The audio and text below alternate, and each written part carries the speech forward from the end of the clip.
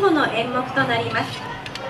この作品は本日のすべてのダンスを組み合わせたパフォーマンスとなります。本日の皆様のチームへの温かい激励に感謝しまた次回お会いできることを楽しみにしております。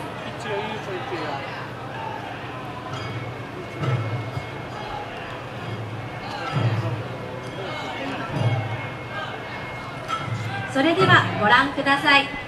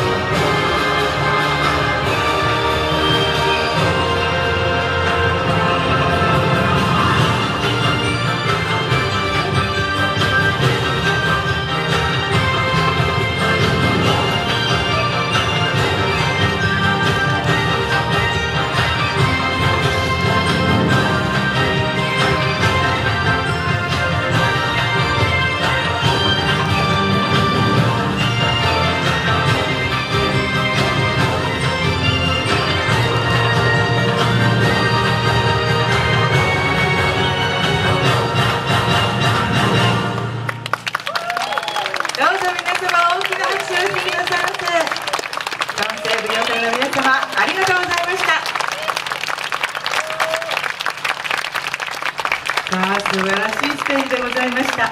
成田にいながらなんかねちょっと旅をしたようなそんな気分も味わうことができました。